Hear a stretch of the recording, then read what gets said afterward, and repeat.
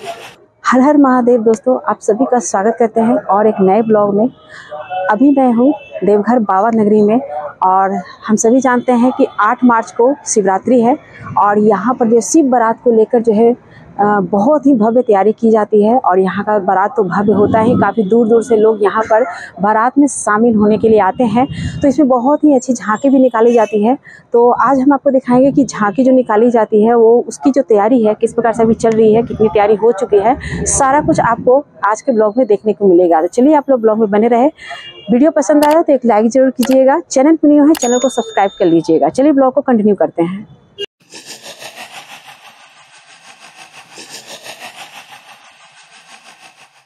तो यहाँ पर अभी मैंने आपको दिखाया कि बहुत सारे जो है झांकी जो निकाला जाएगा झांकी में जो आप लोग देखेंगे वो सब कुछ यहाँ पर देखने को मिल रहा है। लेकिन क्या कुछ है पूरी जानकारी जो हम लेंगे जिनके देख रेख में यहाँ पर बनाया जा रहा है। सर आप लोग शुभ नाम कल अपने बताइए। जी मेरा नाम लक्ष्मण राउत हुआ।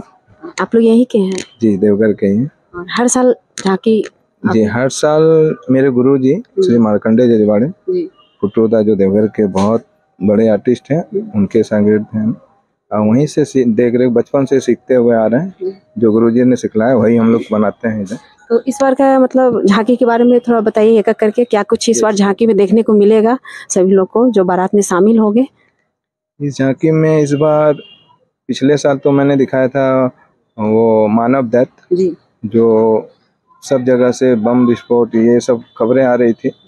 यूक्रेन वाला युद्ध ये सब तो मानव को ही दानव बना दिया था जो मानव से बड़ा कोई दानव नहीं। इस साल मैंने नशा पे बनाया है जो छोटे छोटे बच्चे बहुत नशा करते हैं इधर उधर या उसको दानव के रूप में दिखा रहे हैं। और बहुत जल्द जो है नशा करके वो खुद मर जाते हैं और मार भी देते हैं दूसरे।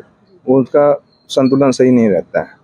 तो इसके वजह से मैंने बच्चे को वो जागरूक करने के लिए ये तंबकासुर का रूप में दैत्य को दिखाने की कोशिश की जो चिता के ऊपर सोएगा फिर उठेगा वो रहेगी झांकी हाथ में वो मदिरा की बोतल और हाथ में सिगरेट धूम्रपान करते हुए रास्ते में जाएगी। इसके अलावा और? इसके अलावा पाँच चांडालिन चुड़ैल बनाए हैं तो वो भी झांकी में डांस करते हुए रास्ते में जाएगी। देवघर में बहुत प्रचलित है बहुत पुराना ये है कि बेलपत्र जंगलों से तोड़ के बाबा को चढ़ाया जाता है यहाँ के पंडों द्वारा। ये सबसे बड़ी झांकी देवघर की सबसे विख्यात झांकी है। वो बेलपत्र तो बाबा का बहुत प्रिय है। तो इसलिए यहाँ के जितने भी पुजारी हैं वो सप्ताह में एक बार जंगल से बेलपत्र तोड़ के बाबा को चढ़ाते हैं। छोटे से बड़े जो भी जाते हैं ग्रुप बना बना के अपना जाते हैं। वो बेलपत्रिया जल दल की झांकी निकालो है जी। और दशानंद रावण की झांकी जिसमें वो हवन करते हुए दस सिर रहेगा वो अपना सिर को काटते हुए जो कि अभी तैयारी चल रहा है अभी थोड़ा बहुत अभी इसमें जो है बहुत बहुत सारा काम। बाकी है जो कि अभी आपको दिखा रहे हैं ये शिवलिंग हम बहुत सारा देवघर मोमेंटो बनता है जी वो शिवलिंग के बारे में हम्म। तो वो प्रचार धर्म का प्रचार होता है हम लोग भी बनाते हैं सारे देखिएगा नेतागण आए व कोई भी सरकारी सर्विस वाले आते हैं ये मोमेंटो पड़ता है उनको तो ये मैंने खुद से सोच के बनाया क्या ये होना चाहिए झांकी में? और हर एक साल निकलनी चाहिए। बाबा की बाराती है तो यहाँ की शिवलिंग होनी चाहिए। होनी चाहिए। तो इस बार ये नया मतलब है? इसके इस पहले ऐसा मतलब नहीं ऐसा ऐसा नहीं दिखाया गया था। तो इस बार ये नया आपने सोचा।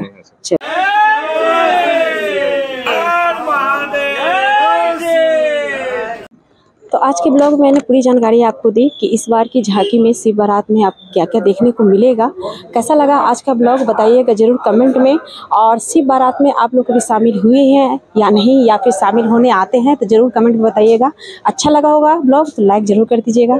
चैनल पर न्यू है, चैनल को सब्सक्राइब कर लीजिएगा। फेसबुक पेज के माध्यम से देख रहे हैं तो पेज को फॉलो कर लीजिएगा। चलिए, जल्दी मिलते हैं आपसे अगले ब्लॉग में। तब तक के लिए आप अपना ख्याल रखिएगा, खुश रहिएगा। हर हर महादेव।